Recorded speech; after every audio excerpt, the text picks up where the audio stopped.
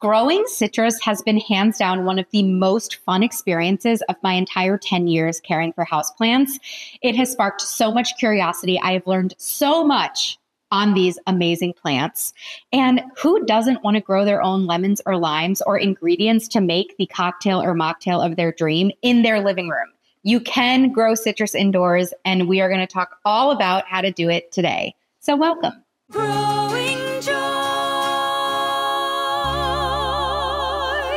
Welcome to Growing Joy. I'm Maria, your best plant friend, and I am here to help you care for plants successfully and grow joy in your life by doing so. And today, we're talking about citrus.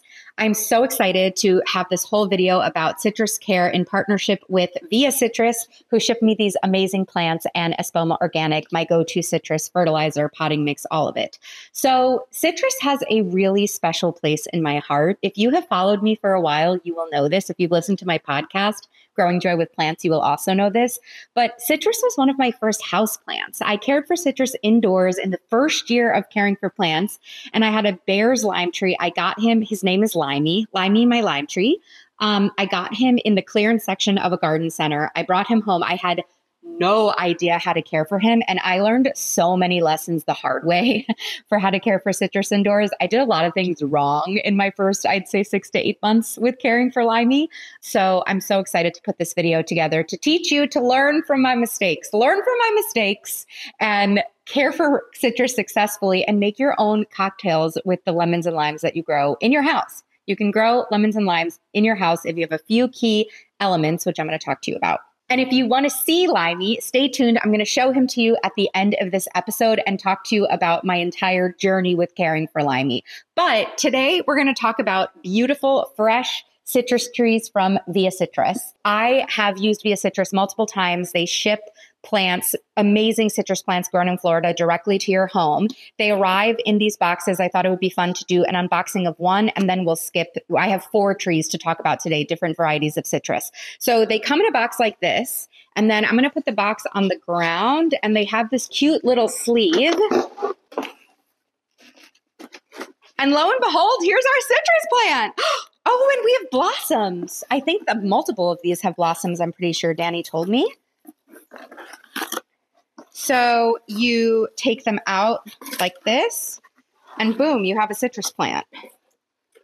I've ordered from Via Citrus multiple times and I've had a great experience with them.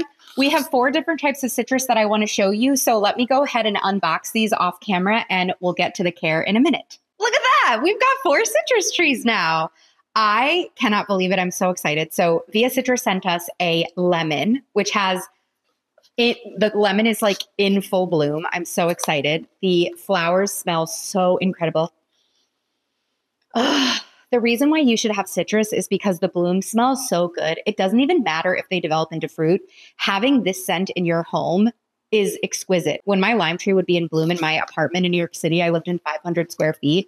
It was the greatest. It was so good. So we have a lemon, we have a calamondin tree over here. Oh no, this is a calamondin tree. A calamondin is very similar to a lemon or a lime. It's a citrus that's bitter. You can put it in jams, you could put it in um, cocktails, but you're not going to eat it like a normal orange. You're going to use it kind of to enhance as like a sour flavor. But apparently, these, I've never grown a calamondin, but apparently they do really well indoors. They're like a great kind of beginner citrus plant. If you listened to the episode on my podcast where I interviewed the founder of Via Citrus, Danny, who's a plant friend of mine, you will know that I have desired a blood orange tree forever. Growing citrus in pots was really popular throughout the ages in Italy. I'm Italian. I feel like when I grow citrus, it connects me to my Italian roots. But anyway, blood oranges, Sicilian blood oranges is a big thing. I told Danny about that, and he actually sent me a blood orange citrus tree. I cannot believe I have one of these. I'm so excited to grow it at my mom's house in Florida. It's going to be amazing. And then we have a Persian lime. These are great limes as well. You can literally grow limes or lemons in your living room. It's incredible. It's so much fun to be able to harvest the lime and make a mojito or put it in your water um, to drink throughout the day. And these blossoms smell incredible as well. All right, so let's talk about citrus care while I actually pot up these citrus because the pots and the the soil, the potting mix that you're potting them up in, really make a difference for setting their plants up for success, right? Because we all want to get blooms, but we want those blooms to actually turn into the citrus fruit so that you can be harvesting and making your own cocktails. What a flex to show up to a party or to host a party and be like, oh, yeah, I grew these citrus in my living room that the cocktails are, you know, created with. I think that's a real flex. I have done that and I'm not afraid to share that with you. Okay, citrus. They like arid environments. They like a lot of sun. If you think about it, we're shooting this video in Florida, the sunshine state. They want to just be basking in the sun because they need a lot of light to generate photosynthesis, to generate their food, to support the blooms. So with citrus, if you're growing them indoors, light is going to be the biggest issue because they get so much light outside. It's very hard to replicate the volume of light that they get outside indoors.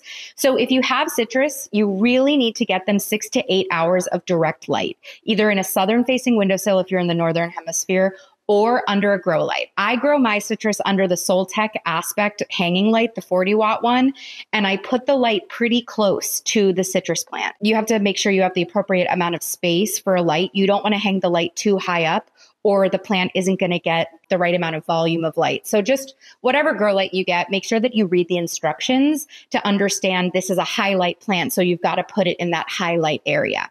So let's begin with the Calamondin. Um, I like this plant as a demo because you can see these beautifully healthy roots. As you can see, this plant came in a very chunky soil. There's bark, there's all sorts of stuff. These roots have a lot of an ability to breathe. We definitely need to bump this plant up because you can see that the roots are really established. I'm going to plant this plant up in a terracotta pot.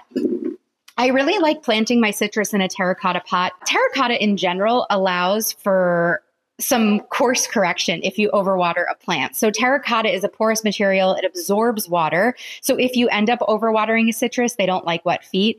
The terracotta can kind of help you there. I'm going to use a Espoma Organic Cactus Mix to pot up the plant because the cactus mix is also designed for succulents and citrus. So plants that need fast drainage Citrus do not want their roots to sit in water. The roots will rot and die, and you will have a very sad, if not dead, citrus plant.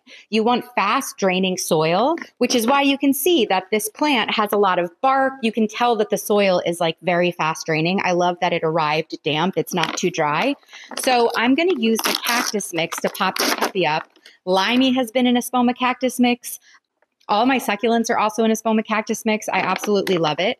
So when you're planting up citrus, you want to, you don't want to plant it too deep. So I'm going to shoot to plant it up to the top because these roots are exposed i'm going to cover it just a little bit um, but you i'm going to plan to sit this plant in the pot like this and have the soil come up to about an inch under the lip so that when i give it a good water the water can kind of fill up and then drain so I'm going to start by putting a little bit of soil in the bottom. And then we're going to kind of work our way into supporting the roots. So we've got a nice base of soil in the bottom. And now I'm going to kind of play around with figuring out how much soil I need to get the top of the potted plant to sit where I want it. So I'm going to add a little bit more soil. I'm calling it soil, but you should really call it call it potting mix. Soil is what you find outside. Potting mix is sterile. Definitely plant your plants in potting mix. Don't take the soil from your garden and, and pot your any plants, but especially your citrus. And while I'm filling this up, I do want to say special thanks to Espoma, the part one of the partners of this episode. I love their citrus tone fertilizer. I love their cactus mix for citrus. They make amazing products. You can also use their bloom and grow fertilizers on your citrus if you want. They're an amazing family owned and operated company. Love you, Espoma. So we're just going to move this around and backfill. Now, when you're potting up any type of plant, but particularly citrus, you want to make sure that you're kind of pressing the soil down so that it's like really supportive because when you water the when you water it, the soil is going to kind of compact. I'm being pretty firm when I'm potting this up and I'm making sure that the sides are getting all of the soil they need. Okay, this looks pretty good to me. Now, next stop would be to thoroughly drench this plant. So I would give a huge drink of water to this plant let kind of the water probably come up to the lip of the pot and then let it drain down. The water is going to help the roots settle in its new soil. You always want to pot your plants, your citrus plants, in a pot with holes in it so that when the water runs through the soil, it can come out the bottom of the pot. So when you have pots with drainage holes, you're going to put it in the saucer, water the plant, let the water drain into the saucer. I leave the water in the saucer for about an hour because sometimes the plant will reabsorb it through capillary action. And there you go. In terms of watering, citrus don't like wet feet, so they don't want to be overwatered. They like a little bit, to, they like to dry out just a little bit. So I usually let like the soil dry out to my first or second knuckle if I put my finger in in the soil. Let it dry out a little bit and then give it a big water. So with citrus, you're going to water thoroughly, but not frequently. Because if you think about it, where they're living outdoors, they're going to get big rainstorms and then they're going to dry out, get a big rainstorm and dry out. You don't want to let the full pot dry out, just the top layer of soil, and then give another really good drink, and then you're done. In terms of fertilizing, I love this product, uh, Citrus Tone by Espoma Organic. It's granular, and basically, you sprinkle some of the granules on top of the soil, and then every time you water the plant, that the grain, uh, the grains, the granular pieces, I guess, fertilize the soil through the water. A couple of tips with this product: it does have a bit of a scent, so just heads up. I use it indoors. Some people prefer to only use it in their outdoor in their outdoor citrus. You can also use Espoma Organics Grow or Bloom liquid solution. We have the Bloom solution. The Bloom one when your plant is blossoming is good, um, or the grow comes in a in a green bottle. I don't mind the scent. It goes away like within the first day. And also always use a glove. So I use a rubber glove. I actually keep a rubber glove in the citrus tone bag for whenever I'm taking it out and sprinkling a little bit. You can follow the directions on the bag, or you can just kind of go rogue the way I do and just like give a little bit of a sprinkle, a little bit of love. Whenever the plant has any blooms, you want to make sure that you are fertilizing, especially too in the spring when it's ready to blossom, fertilize, right? The plant needs a lot of nutrition to support the blooms and the development of the fruit. A lot of people ask about pruning when it comes to citrus care. I love these pruners by Modern Sprout. They're so cute. This thing makes it really helpful to get a grab. You're going to prune in the beginning of spring before it leaves out and gets buds. I never recommend pruning more than a third of the plant, but it's really helpful to prune the plant. What happens is when you prune a plant, it triggers a hormone called auxin that runs up and down the stem. When auxin gets triggered, it's going to trigger more bushy lateral growth, right? And that's what you want. You want a nice, bushy, robust citrus plant. So, pruning, you got to prune the plant back to inspire more growth. More growth means more blooms, means more citrus, means more cocktails. So there you go. So if I don't want to prune this plant right now, I wouldn't advise pruning a plant the minute after you repot it. It needs a little bit of time to establish itself in your home. It just went through a big upgrade. It traveled to you in the mail or it came home with you from the garden center. You're potting it up in a new pot that's a little bit bigger. Like give her a minute, give him a minute to hang, right? And get established. Um, but in a couple of weeks, once he's established, I would prune like maybe here like a third of the stem and a third of the plant is kind of the good rule of thumb with with pruning so let's talk troubleshooting with citrus as a citrus owner the three main things that i've dealt with have been spider mites pests leaf drop and leaf curl and this is what i've learned most of the solution to citrus with growing them indoors is light. You probably need more light than you're thinking. So with me, because I have my citrus under a grow light, I had to extend the amount of time that the grow light is on and or lower the grow light or heighten the grow light based off of it. It was a whole year of experimentation with me in my in my lime tree. So in general, if your citrus is struggling, I'm always going to encourage you to probably experiment with giving it a little bit more light and or a little bit more water. So if you have leaf curl, that's the plant literally like shuddering because it's not feeling well. So leaf curl could be from too much light or it could be from too little water. So there's the plant is like curling and like protecting itself, right? Leaf drop, it's very normal when you bring a citrus home and it's uh, establishing itself in your home. It's very normal for there to be a little bit of leaf drop. So I wouldn't be too worried if your citrus loses a bunch of leaves when it's establishing in your home. But then you're going to want to watch it. And with leaf drop, what I've found is I either had spider mites or I wasn't giving it enough light. Then spider mites. Listen, Citrus indoors is an amazing thing. I highly recommend it. It is so fun. Like I said, just to have the scent of the blossoms in your home, it is totally worth it. But citrus really can be vectors for pests indoors. They're not meant to be indoor plants, right? They're meant to be outside, like singing and singing and dancing in the rain and the sun. So they will attract occasionally spider mites or scale. So the key is, but really, if you're a plant parent, pests are part of plant parenthood. It's really not if you're going to get pests, it's when. So that's why we made the whole video on your DIY houseplant first aid kit because it's going to happen and it's really just about being prepared. So I have products like this available at all times neem oil, bioprotectant, fungicide if there's, you know, a fungal attack. This brand is Arber. I've just started experimenting with them. They have an insecticide and a fungicide. You put it, you mix this with water, you spray down your plant with it, and it will help eliminate pests. Whatever pest control you like to use, I just highly suggest having it available so that when you see the first sign of pests, you can treat it immediately because especially with citrus or really any house plants, pests will really go for it. They will expand and multiply very fast. So it's really good to get them under control as soon as possible. So have some sort of pest protectant on hand. I also really do like the neem oil just also for keeping the leaves clean. Any type of neem oil will do. And with pest prevention, you're going to want to make sure that you're checking the leaves. So make sure when you're looking at your when when you water your citrus once a week, you know, a couple times a week, whatever that looks like for you in your home, I'm always going to check under the leaves I'm going to check where the leaf attaches to the stem. If you see spider webs in between the leaf and the stem, that likely is an indicator of spider mites. Pests like to hide under the leaves, in between, and maybe even on top of the leaves. So, you know, keeping a mindful interaction with your plant and the leaves is good for your mind, good for your sense of calm, but also really good for pest management. Maybe the most heart wrenching experience for a citrus owner is for you to have a plant that gives a lot of blossoms and then the, some of the blossoms fall off. Listen, the plant kind of knows how much fruit it can support. So it's going to put off a lot of blossoms, and most of those blossoms aren't going to turn into fruit if you're growing citrus indoors. The plant just can't sustain that. You're really only going to get like a couple of fruits per season. Don't expect if your if your plant has a 100 blossoms on it that you're going to have a 100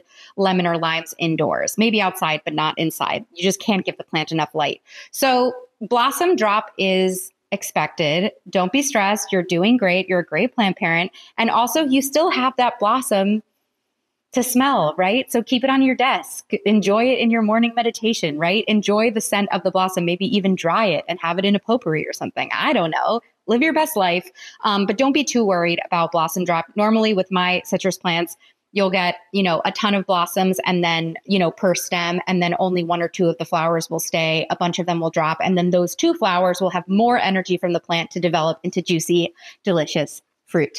Okay, let's see Limey. So this is Limey, my plant baby. I really do feel like he's a child of mine. I have cried over this guy, right? Who cries over their houseplants? I do. You know what? Tell me in the comments if you've ever cried over your houseplant or citrus plant or garden. It would make me feel better. So, you know, I'm showing you Limey because obviously Limey looks kind of wacky. Like Limey is a crazy guy. He's not your traditional really big, robust citrus plant, but I have learned so much on him. I learned how to prune on Limey. It was the first time I pruned something back, and I learned that if you prune a plant, more growth will come, right? I harvested multiple limes that I made drinks from. I learned about pest control on him. I learned about watering. I learned so many things from this plant. And although he looks kind of crazy, I'm so thankful to him. He lives with my mom now. If you watched, I believe we have a YouTube video about this, but I definitely have a podcast. I literally flew him on a plane from New York to Florida because he wasn't getting enough light in our very dark home. And it was a whole story. We couldn't do grow lights, blah, blah, blah. And he's been very happy in Florida living in my mom's lanai. Um, he's given us multiple rounds of limes. I think my mom recently just pruned him back. The reason why I'm showing you limey is citrus are a wonderful way to learn. It can be ups and downs, right? You're going to have, you know, pests, you're going to have things, but they're so much fun. They're such a rewarding plant. I've loved my journey with limey, and I hope that you have your own journey with your own citrus plants. We have discount codes for Via Citrus.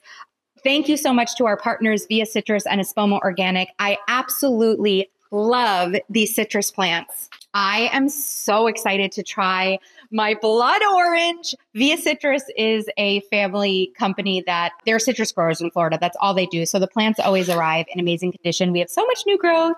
I love it. We have so many blooms. I love that I can immediately start smelling the plants now. You know, I'm talking a lot about these partners, but I've been using them forever on my citrus. I really do, you know, they're they're literally made the cactus mix is made for citrus plants, right? The citrus tone is made it's citrus fertilizer. These growers are only citrus growers. So these are amazing companies. If you're interested in trying citrus for yourself, do it with companies that really know what they're doing, get really good products. Um, and we have links and coupon codes and stuff all in the show notes. Speaking of pointing down here, like all the other YouTubers I see, please make sure that you like and subscribe and thumbs up and, you know, do all the things that tell the YouTube gods that this content is good. And also, I would love to hear what you think about citrus care. Do you care for citrus indoors? Are you trying citrus? What type of citrus are you going to try? And if I missed any tips, I would love to know what tips have worked for you for growing citrus inside. Please put them in the comments below. The thing that I love about citrus, especially growing them indoors, it's an opportunity to cultivate curiosity, right?